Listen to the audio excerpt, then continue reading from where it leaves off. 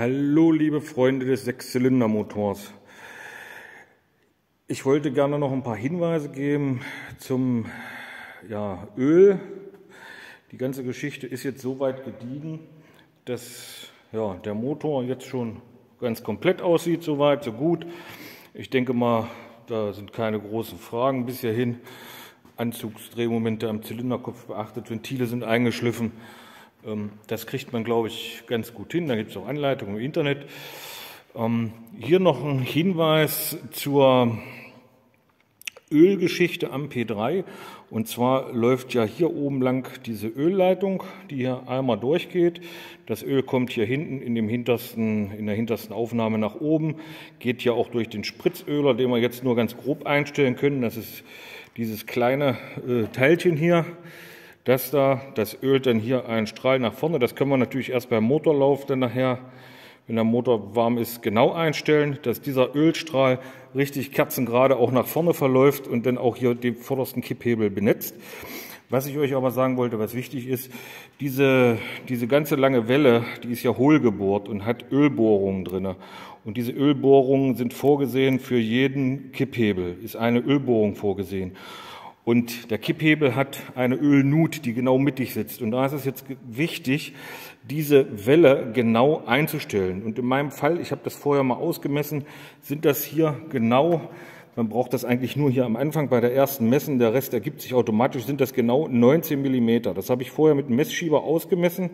Abstand hier von dieser Unterlegscheibe, die da ist, bis zur Lochmitte hier drinnen, hier ist ja so eine, so eine Ringnut, sieht man, wenn man das auseinander nimmt, kann man die Ringnut genau sehen. Wenn das ein Millimeter versetzt ist oder zwei Millimeter, äh, passiert das nämlich, dass das Ding trocken läuft. Das kann auch äh, sehr schnell passieren.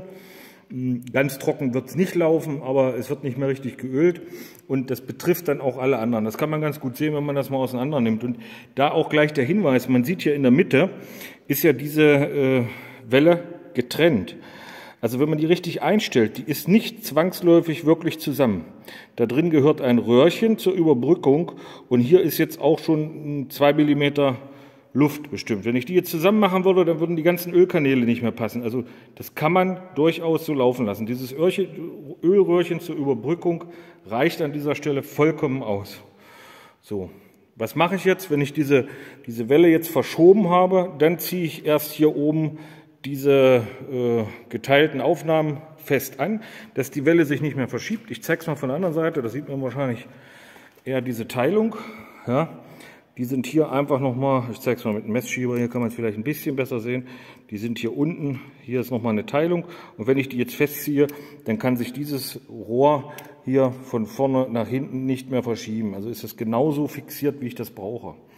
Und das ist eigentlich wichtig, dass ich die optimale Schmierung für den Motor habe. Sonst kann es mir durchaus passieren, dass diese Kipphebel ganz gern mal einlaufen. Wenn man dieses Röhrchen, diese Röhrchen mal rausbaut, guckt sich das an. Das ist ganz oft, dass die eingelaufen sind. Und dann tja, hast du da den Ölverlust oder ganz und gar, dass die Kipphebelbuchse klemmt und dann natürlich das Ventil nicht mehr richtig betätigt wird. So. Ähm, was gibt's noch zu sagen? Im Prinzip, jetzt wird das Ganze festgeschraubt, die Brücken, und danach Ventile einstellen. Beim Ventile einstellen, denke ich mal, das ist selbsterklärend. Ich mache den Ventilabstand gerade am Anfang immer etwas weiter, lieber zu weit als zu eng, dass die Ventilsitze nicht gleich verbrennen. Ähm, spätestens, wenn ich nach 1000 Kilometern den Zylinderkopf dann nochmal nachgezogen habe und die Ventile dann einstelle, dann mache ich den Originalabstand für 0,1 und ich mache das dann auch möglichst bei warmen Motor. Also es gibt ja zwei Einstellwerte. Aber ich finde, der Einstellwert bei warmen, betriebswarmem Motor ist eigentlich der bessere Wert. Und damit man das schnell einstellen kann, gibt es auch noch so eine goldene Regel. Ihr wisst ja, wenn zwei Ventile sich überschneiden, dann ist ein äh, Kolben richtig zu.